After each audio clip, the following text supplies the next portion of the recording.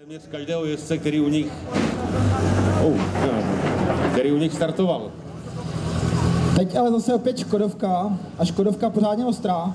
Škodovka Honzy Kinčla a Asi nebude konkurence velká. To ní nebylo. A byla, ale se.